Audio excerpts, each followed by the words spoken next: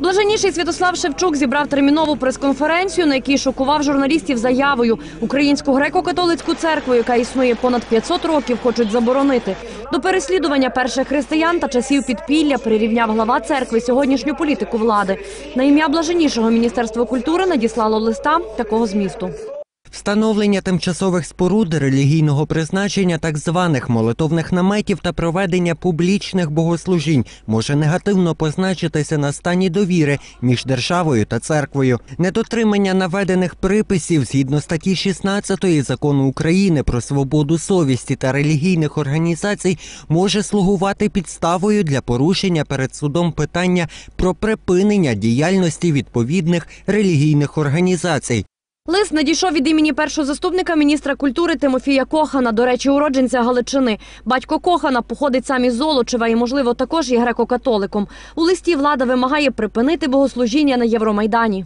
Дуже цікаво, що в цьому листі вперше за всі роки існування незалежної української держави прозвучало попередження, яке властиво можна навіть назвати погрозою. Ми думали, що час, коли переслідували церкву, вже давно минув.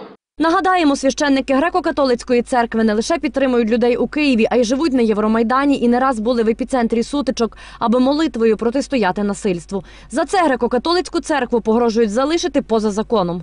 у своєму спільному зверненні до українського народу підтримали європейський вибір наших людей.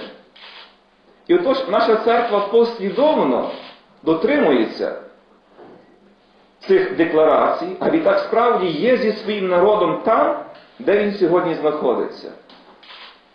І для нас є цілком очевидним, що бути зі своїми людьми і з ними молитися не може бути порушенням закону. Це є конституційне право і душпастеря, і цих людей.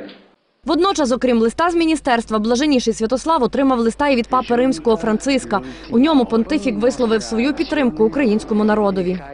Папа Франциск запевняє про свої молитви за мир і згоду за улюблений український народ. Папа Римський Франциск.